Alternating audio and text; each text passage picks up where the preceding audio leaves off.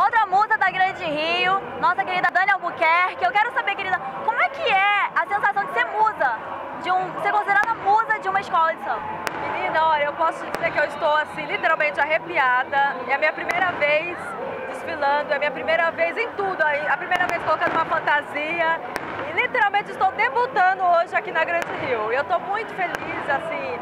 Ah, é, é uma sensação assim, é inexplicável. Ó, só estando aqui na avenida para sentir essa emoção.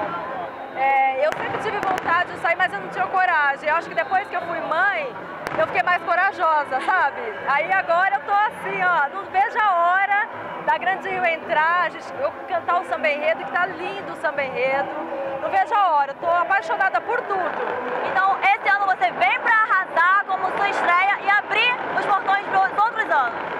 Sim, literalmente, vim aqui ó, para dar uma força, para levar o primeiro lugar, se Deus quiser. Tô aqui firme e confiante. Então, boa sorte, bom desfile, obrigada, Dani. Carnaval Plus TV é muito mais a sua cara.